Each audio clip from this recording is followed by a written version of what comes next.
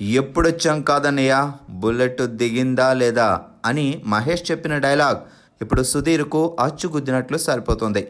ఎలా వచ్చాం? ఎక్కడి నుంచి వచ్చాం అనేది కాదు. ఎలా ఎదిగాం? ప్రస్తుతం మనం ఎక్కడున్నాం అనేది ఇంపార్టెంట్. ఇప్పుడు సుధీర్ కూడా ఇదే చేసి చూపించాడు. జబర్దస్త్ కామెడీ షోతో ఎంతోమంది కామెడియన్స్ తెలుగు తెరకు వచ్చారు వెళ్ళిపోయారు. కానీ కొందరు మాత్రమే అక్కడే సెటిల్ అయిపోయారు.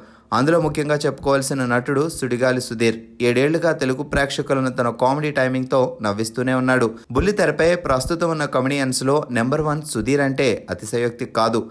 టీవీ షోలతో పాటు యాంకర్ డాన్సర్ మెజిషియన్గా కూడా సత్తా చూపిస్తున్నాడు సుధీర్. ఈ మధ్యే సాఫ్ట్వేర్ సుధీర్ అంటూ హీరో అయ్యాడు కూడా. మిగిలిన సినిమాల్లో కూడా చిన్న చిన్న పాత్రలు చేశాడు ఈయన. ఇక ఇప్పుడు ఈయన డేట్స్ హాట్ కేక్. ముప్పై రోజులు ఫుల్ బిజీగానే ఉన్నాడు.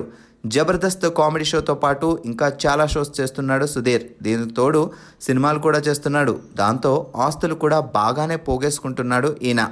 సుడిగాలి సుధీర్ ఆస్తి విలువ ఎంతుంది అని తెలుసుకోవడానికి అభిమానులు కూడా ఆసక్తిగానే ఉన్నారు. ఈయన ప్రస్తుత ఆస్తి లెక్కలు కడితే దాదాపు పది కోట్ల నుంచి పన్నెండు కోట్ల మధ్యలో ఉంటుందని తెలుస్తోంది. ఏడాదికి కనీసం రెండు కోట్ల వరకు సంపాదిస్తున్నాడు సుధీర్. అందులో జబర్దస్త్ షోతో పాటు డి ఛాంపియన్ పోవే పోరా లాంటి షోలు ఇతర ఈవెంట్స్ కూడా ఉన్నాయి. దానికి తోడు సినిమాలు కూడా చేస్తుండడంతో సుధీర్ బాగానే వెనకేసుకుంటున్నాడు. ఏదేమైనా కూడా చిన్న స్థాయి నుంచి వచ్చి ఈ స్థాయికి ఎదగడం కూడా మాటలు కాదు.